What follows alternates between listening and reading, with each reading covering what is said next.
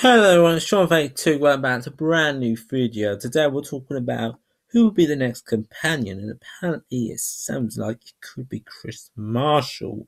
Now, Kris Marshall has been relinked being the next Doctor, 13th Doctor. Now it is rumoured that he will be the actual um, companion. If it's going to be funny if he's really nothing or if he's just a minor character. Now, if the Doctor is a male companion, you're going to get a lot of people like, you know, why can't he have a female companion for? This is sexist and all that. But then again, you'll say it's sexist because it's a female, a male, sorry. You know, why can't a woman have a female? Then you're being sexist saying it can't be a male, then, aren't you? You're saying it can't be a male because the Doctor's always got, you know, proper female companions. No, it's not always the case, people. We have Jamie with just the Doctor. We have um, Turlough, Taylor with just the Doctor. Um, I don't know who else is just with the Doctor, just the male companion. But you know, those are two prime candidates. I think Steven Taylor also appeared with the Doctor, just you know, on his own in a couple of stories.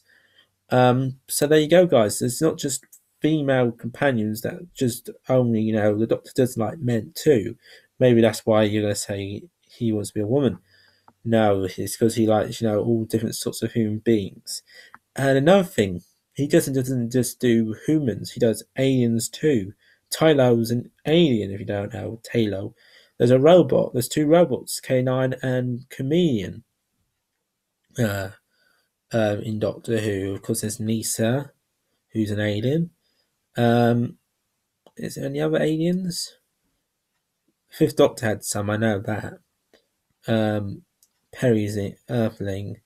Is Mal Earthling? I think most of them are Earthlings. A lot of them are Earthlings. But anyways, yeah, a lot of them are Earthlings. So you're saying that a lot of people want him to be um, the Doctor. I would like to see him as the Doctor, to be honest. So he's the next Doctor. I won't even matter. But what if he just appears like for two seconds?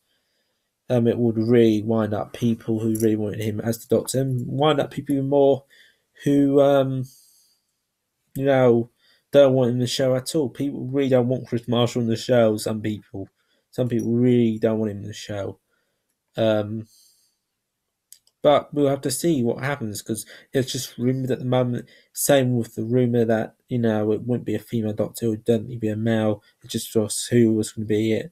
I wasn't even giving it a second thought. It being a female. Now it's a female. It seems like the show is over, really. But you know we'll have to see. It is it any good? Anyway, guys, thanks for watching. Remember, please like, comment, subscribe. You next time, guys. Thanks for watching. Take care.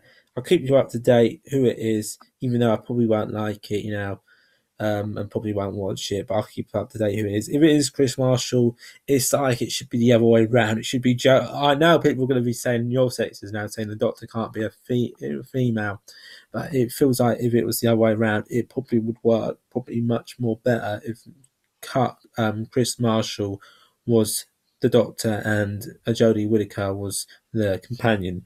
I think they just swapped it around just for the sake of it, you know, to say the doctor can be a female.